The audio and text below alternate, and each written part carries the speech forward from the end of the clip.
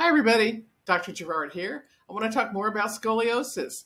It is Scoliosis Awareness Month. So, are you concerned about your posture? Have you noticed a high shoulder? Do you feel like you slump or round forward?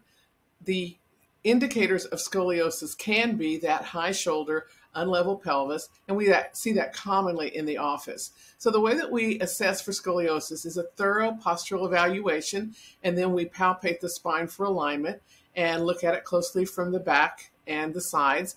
And then, if necessary, we take x rays. Now, these are specific x rays to evaluate for a short leg. There's a certain angle and a certain type of alignment that needs to be done on these x rays to properly evaluate for a short leg.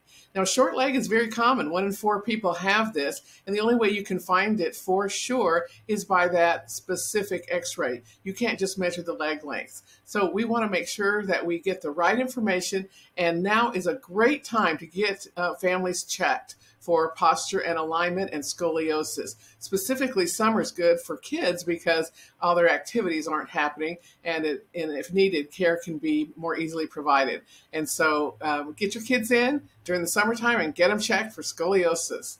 Have a great day.